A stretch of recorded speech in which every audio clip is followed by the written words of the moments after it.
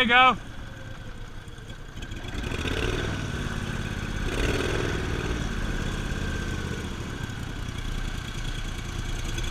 That's expensive uh, brush guard.